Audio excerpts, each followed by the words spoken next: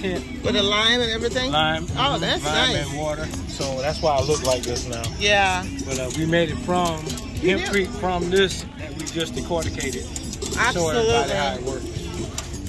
Can you do that again, please? Don't cost you ten dollars.